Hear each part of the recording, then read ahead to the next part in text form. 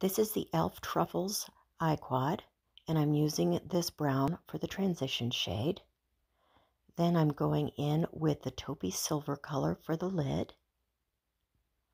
I'm darkening the outer corner with a darker brown. And then I am using the black to line my eyes. I am using the Precision e.l.f. pencil to fill in my brows. After doing my lashes, I am going to use the e.l.f. Camo Hydrating Concealer. Here is the e.l.f.'s Brick Red Blush. And then I am going to finish off the look with this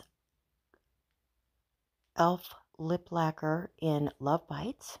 I hope you like this look.